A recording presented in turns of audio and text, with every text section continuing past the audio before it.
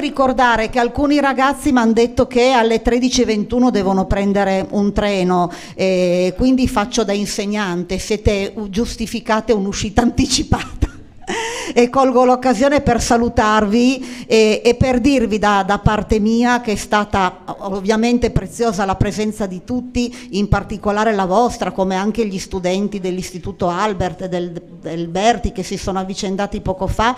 E da mamma vi rivolgo l'invito di avere cura di voi stessi, perché iniziare ad avere cura di voi stessi insegna a relazionarsi con gli altri e col mondo esterno. Oggi tra l'altro è il 20 aprile è anche la giornata della Terra e credo che con questo abbia detto tutto. Grazie, prego. Grazie, buongiorno a tutti, sarò, sarò brevissimo.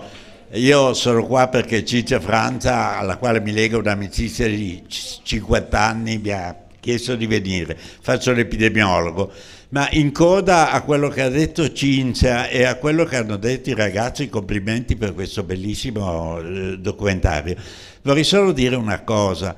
Eh la tragedia dell'IPCA eh, è emersa, è venuta a conoscenza dell'opinione pubblica, ha portato al primo processo penale. Eh, parentesi, l'Italia è uno dei pochi paesi dove le malattie professionali sono reato penale, perseguibile d'ufficio. Chiudo la parentesi. Eh, eh, dicevo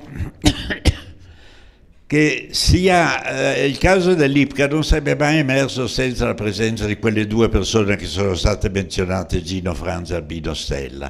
È, è, è dall'interno, è stato dalle vittime, dagli operai che è venuto fuori questo.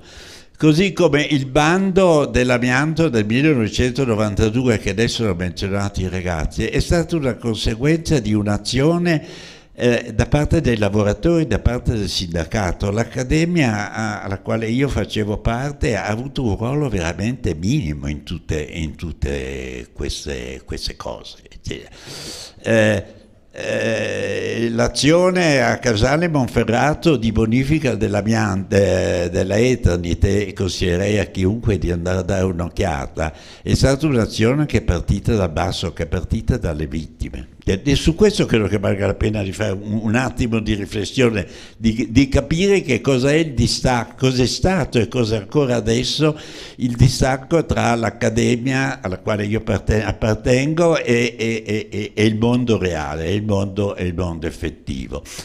Eh, ancora una cosa su Casale eh, consigliere chiunque di andare a vedere non soltanto che cosa è stato fatto, ma anche il parco che è stato costruito dove c'era la Ether di una volta, che, parco che si chiama Eternot e con questo insomma, è abbastanza significativo questo cambiamento di nome. Grazie. Grazie, grazie mille.